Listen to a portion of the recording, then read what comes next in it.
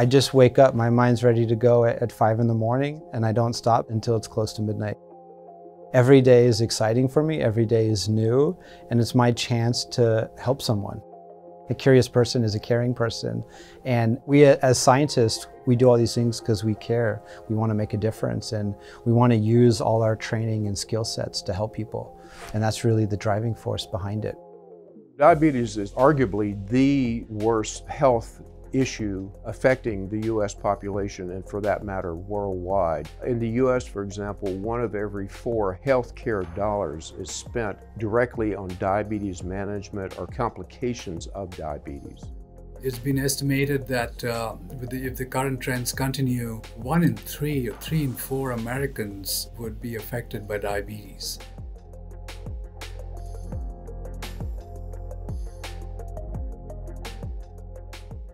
Think it's the pinnacle of achievement to be able to deliver a medicine that can treat tens of millions of people and really change their lives.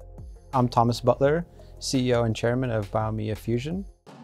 The company really started as a research project. It wasn't a company, it was just a few really researchers, entrepreneurs that really wanted to figure out how to develop and design a drug against a target called menin. It is fantastic to work in Biomea. It is a startup company as such, we are focused on delivering the objectives. We have good science. We also have good people. And then on top of this, we have good leadership.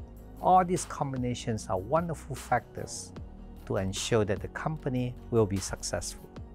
What we know about menin is largely due to its role in oncology, but a somewhat lesser known role for menin is its uh, role in diabetes. And so what we do understand about menin in diabetes is that menin acts as a sort of brakes on beta cell proliferation. If you ratchet down menin function, in turn you increase beta cell numbers and beta cell function. And that increases insulin levels, controls high glucose levels, and potentially could actually revert diabetes and keep it under control such that uh, no longer would you have to take other medications. So BMF219 is, is a very interesting molecule. I've actually quite not been exposed to one like it before. The 3D virtual reality is a very important tool in our drug design process. We're actually in a position where we can create a room where we can build the protein and we can build the protein at the size of our own body and essentially step into the binding site where the molecule will bind to this protein and explore all small details in this binding site to make an optimal molecule that fits perfectly into the binding site. BMF219 uh, actually engages menin. Uh, it forms a so-called covalent bond with a particular amino acid within the menin protein.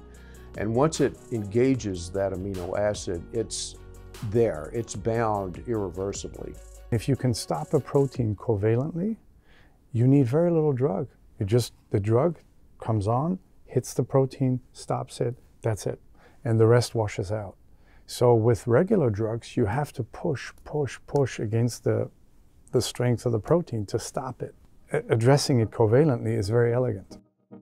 Honestly, I'm very uh, impressed uh, and uh, by the, the vision uh, and also audacity of the Biomea uh, team to decide to tap this huge potential to have a huge impact on improving diabetes treatment with a completely new mechanism of action. 219 in the preclinical studies that uh, Biomea has performed has an extremely uh, clean safety profile. Specifically, there were no safety issues, no toxicities whatsoever observed. We'll be presenting our preclinical data on two animal models, two uh, diabetic models of rat, a ZDF and an STZ-induced model. And in both of these models, we see that treatment with 219 results in a very efficient control of blood glucose.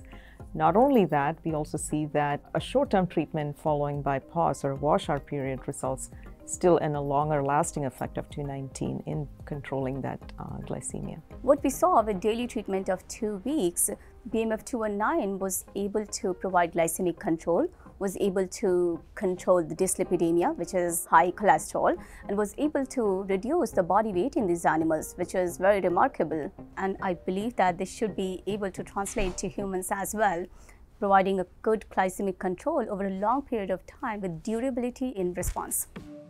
In short, it's truly exciting and uh, it's a game changer in my mind. I'm very excited to look at these data, and as a scientist working in the beta cell field, these data are um, important for us to think about and consider as we try to find much more effective therapies. Currently, our plan is to do the phase 1b trial in diabetes, type 2 diabetes patients, where they can receive BMF 219 just for a period of 4 to 6 weeks, and then we'll observe those patients for subsequent 26 weeks. Just with a short term duration treatment, patients should be able to control their diabetes, their blood sugar, and as well as all those complications related with the long term diabetes. The strategy Biomea is flawless, it's irrefutable, and the fact of the matter is, if it works, I mean, let, let's be honest, it's nothing short of brilliant. And the world needs these kinds of drugs for perhaps obvious reasons. So it really comes down to the, the effectiveness of the drug. If BMF 219 does what it appears to be able to do, then this is absolutely spectacular. Really, the mission for the company is we aim to cure.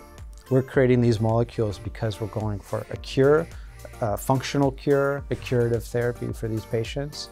It's such an amazing opportunity to be able to have a, a therapy that could really change their lives forever.